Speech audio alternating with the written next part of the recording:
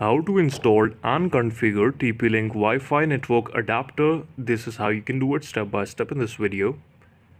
To install and configure a TP-Link USB Wi-Fi network adapter, step 1 is connect the adapter. Insert the TP-Link USB Wi-Fi adapter into an available USB port on your computer. For optimal performance, use a USB 3.0 port if available. Now install the driver. Option A, automatic installation.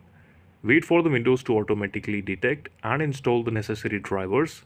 Once installed, you should see a notification indicating the device is ready to use. Option B is install using the provided CD. Insert the included CD into your computer's DVD drive. Run the Autorun X file from the CD. Follow the on-screen instructions to complete the installation from there. Now we will look to the option C, that is the third option, download and install driver manually. Visit the TP-Link download center and locate your adapter model. Download the latest driver compatible with your operating system. Extract the download file if it's not in compressed format. Run the setup or installation file and follow the prompts to install the driver in it.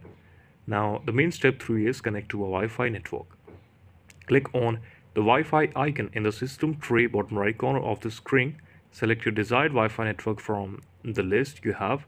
Now enter the network password when prompted. Click connect to establish the connection from there.